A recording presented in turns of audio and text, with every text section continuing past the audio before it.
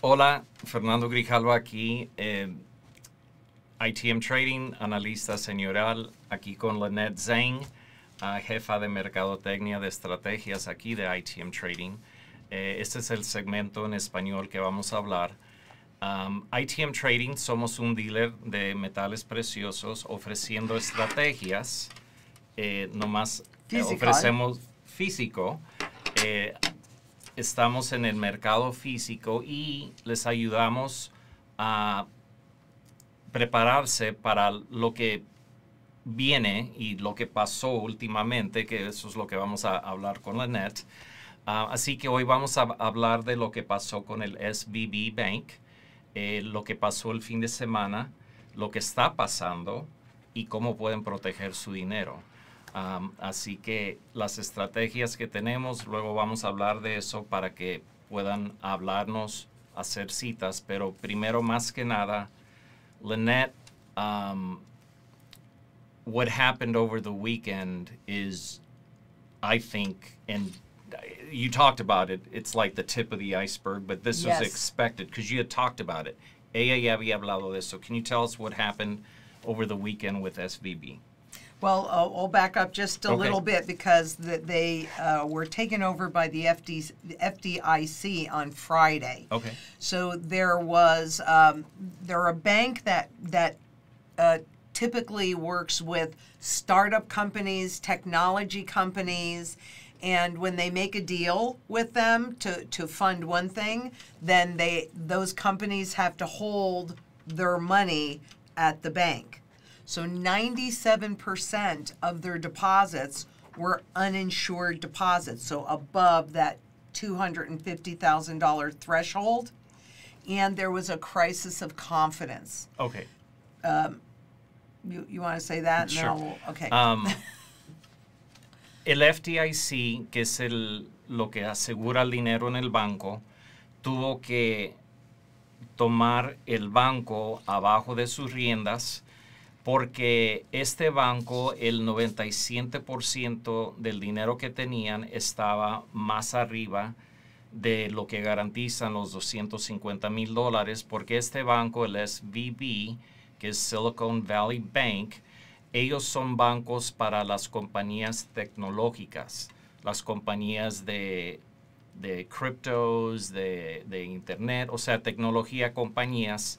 Así que mucho de ese dinero estaba, no, no tenía garantía. Um, Okay, so basically, then on the so the FDIC went in and took them over on Friday and froze all of the bank accounts. So people, corporations couldn't meet payroll, taxes, anything because that was locked up.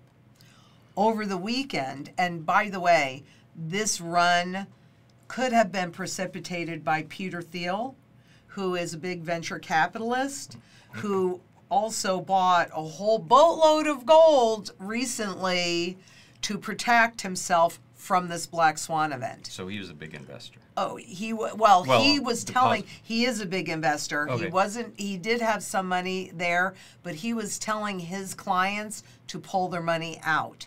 So that's why I said he could have precipitated Okay. Right this, but he knew that he was protected because he had already bought like 50 million dollars worth of of uh, gold Okay. in preparation of a black swan event, Okay. Um, which I think is el, key. el FDIC tomó este banco, la posición de este banco el viernes. Y cuando tomaron la posición, si tenías dinero en ese banco, no podías hacer transferencias, no podías sacar el dinero. Y un- uno de los clientes más grandes de SVB es Peter Thiel, que es un inversionista muy grande. Y últimamente Peter Thiel empezó a decir que debían de sacar el dinero, pero una cosa que hizo es compró mucho oro. Y dice Lynette que compró como 50 millones de dólares ah, porque él sabía lo que, lo que iba a pasar. He knew what was coming. Oh, he uh, yes, yes. And, and uh, just because we're talking, um, when the FDIC took over, um, that's like nationalization, right? Isn't that a form a of? Well, it's a failed bank, and then what they try and do is find a buyer of that bank. So another bank to take over. I mean, think of it like in 2008 when JP Morgan took over Bear Stearns. Right? So no, it's it's not a nationalization um, per se because the, it didn't go into receivership at least yet Right. right? If Yeah. it goes into receivership and, and the government holds it and holds stock in it, then it's a nationalization. Right now, they're trying to find a buyer. Yeah, because in, in the videos, and I know you did a couple um, uh, really, you know, uh, extreme videos on what was happening. And I know in one of the videos you talked about that, that I think um, what they also did on Friday or over the weekend is anything over that 250,000 Right. threshold, they gave you a certificate. That's what they were going Oh, to they're do. going to do, okay. Right? But instead, because now that's very noticeable for the public, right? And they're going, oh, bail-in, bail-in, uh-huh. maybe I can't get my money out. Okay. So there's a couple parts to it. One part is that they're trying to calm the general public. They don't want the general public to understand that how in danger what they hold at the bank is. Okay. Okay? But the other part of it is who got bailed out? Venture capitalists. Yeah. Now, who's going to help the government bring out a CBDC? Venture capital and the technology. The tech Not a coincidence. I um, I don't know. I mean, I can't guarantee that. That's my opinion. But when I'm looking at all the facts, Okay. Uh, hard to not come to that conclusion. Lo que, lo que dijo, una pregunta que le hice a Lynette es que en mi vista parece ser que el gobierno tomó la rienda de, de este banco y dice Lynette, todavía no, porque lo que van a hacer es, va- hay un proceso de bancarrota, van a ver si pueden encontrar a alguien que compre ese banco antes de que el gobierno tome la rienda. Pero lo importante, dijo Lynette, es que el viernes habían anunciado que si tenías más de 250 mil dólares, la diferencia te la iban a dar en un ce- certificado, una certificación, un pedazo de papel que dice, ok, tienes ese dinero, no tienes acceso. Pero lo que cambió el fin de semana, dice Lynette que el, el gobierno garantizó ese dinero porque este banco, como eh, eh, la- lo fuerte que hace este banco en depósitos es venture capitalists que están en criptos, en dinero digital, y como el gobierno quiere ir para ese lado, no es coincidencia que el, ban- el, el gobierno dijo, te vamos a pagar, we're going to pay you, don't worry, because, porque we're going to need you in the future. Te vamos a necesitar, así que el gobierno a estas compañías que están manejando dinero digital les dijeron, no te preocupes, tu dinero está bien porque te vamos a necesitar. Now, let's take this one step further, right? Okay. Because they're saying that that this is not a bailout because they're not putting in taxpayer dollars. What's going to backstop now ensuring this is after Sunday night, right? Came out on Sunday night. What is going to backstop uh, every a hundred percent of everybody's deposit is the DIF fund. So the FDIC fund where they hold the money to pay out uh, creditor or pay out depositors in a failed bank. Here's the problem with that. They only have 128 billion in there To cover. to cover like what 20 trillion? Yeah, that's pennies. I mean, e- oh, it's worse than pennies because it was pennies. It was 1.27 pennies, not one penny, but yeah, one just like a little bit more than one penny for every insured deposit. Hmm. Okay, and there are a lot more deposits that are in this system that are uninsured because of all the money printing and the free money, right? Yeah. Right. So explain that. Um, you can't. The taxpayers are going to are Sí. bailing this out. Di- lo que dice Lynette, y, y por favor sigue sus videos eh, que hizo, pero ese es un segmento corto, Eh, el bailout que hizo el gobierno, o sea, ellos garantizaron que te vamos a, proteger para que no haya lo que le llaman una corrida en los bancos, que es un bank run. Una corrida de los bancos es cuando todo el mundo va al banco y, y tienes miles de dólares en el banco y lo quieres sacar y el banco te dice, nomás puedes sacar hoy 500 dólares. Porque si todo el mundo saca el dinero, se acaba el dinero. Y lo que dijo la net, que el FDIC tomó la rienda porque el fondo de ellos se llama el DIF. Y el DIF Fund es lo que van a usar para asegurar ese dinero que está en el banco, pero tienen 128 billones de dólares en, en fondo pero tienen más de 20 trillones de dólares. O sea, sale a un, penny con 70, un penny pasadito, ni dos pennies por cada dólar que está en el sistema asegurado. Así que la pregunta es que cuando hay una quiebra, cuando hay una crisis y hay una corrida en los bancos, no hay dinero no hay liquidez. There's no liquidity, and that's what you talked about. Exactly, exactly. Yeah, this is not good. This is big. I mean, this is you know, and it's and it's now. Um, I, it didn't start with SVB. It started really with Clinton. That's a whole nother thing. Mm. But the but the reality is is it is going around the world, mm-hmm. As we see today. Credit Suisse mm.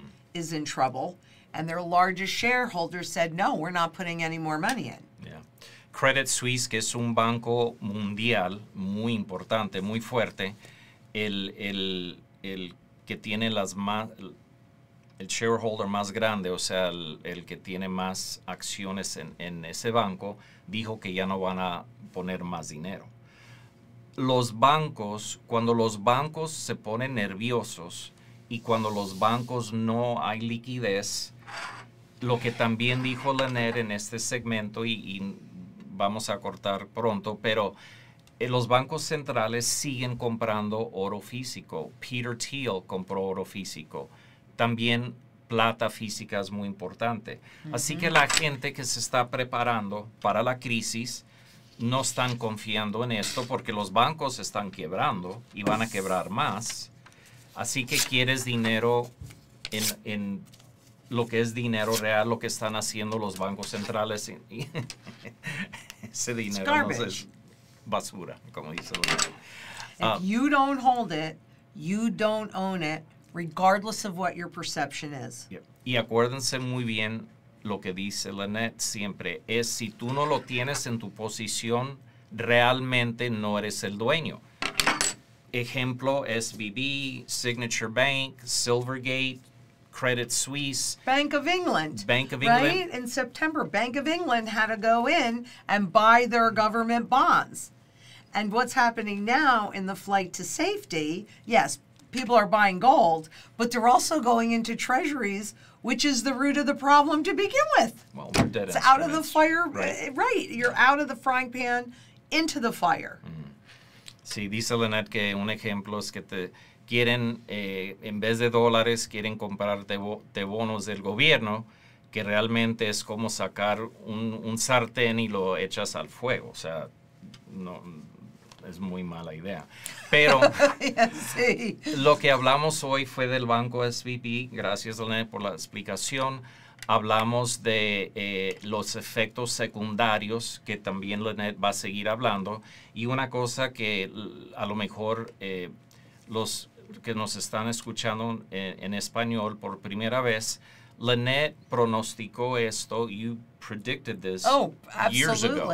Ella lo pronosticó, así que siguen viendo los videos, pero explicamos eso, explicamos cómo pueden proteger su dinero con oro físico, oro plata. Hagan la cita en Calendly. Por favor, suscríbanse al canal y también vamos a hacer un segmento más adelante eh, en preguntas eh, a itmtrading.com porque Lynette y yo vamos a hacer preguntas en español para la gente en español para contestarles. y sigan el canal de nosotros, ITM Trading, el otro canal Gold and Silver Online y también sigue el mantra de la net que es Food, comida, water, agua, energy, Energía. security, seguridad. barterability, wealth preservation, Well, pre- ajá. community, and shelter. Ok. Eh, comunidad, seguridad, intercambio, preservación de dinero, Oh, comunidad y techo. Así que es muy importante. Déjanos un comentario. Si les Yeah. gustó el video, hagan un link.